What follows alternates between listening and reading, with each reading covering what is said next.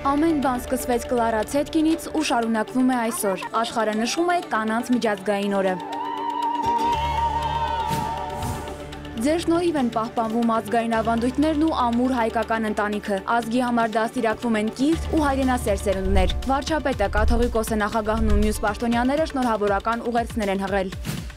Ադրբեջանի վերահսկողության տակ անցած շրջաններում նախատեսված որոնողական աշխատանքները մառախուղի պատճառով չեղարկվել են, մինչև որս հայտնաբերվել է 1490 աճյուն։ Մենք տեղում ենք, ոչինչ չկա։ Ազատամուտցիները հերքում են տարածվող ապատեղեկատվությունը։ Հարակից տարածքն է, ոչ դրոշ կա տեղադրված, ոչ էլ, ասենք, ազերբայջանցիներ կան։ ԱՄՆ կոնգրեսական Ֆրանկ Փալոնը Թվիթերյան էջում դատապարտել է Ադրբեջանին հայ գերիներին չվերադարձնելու համար։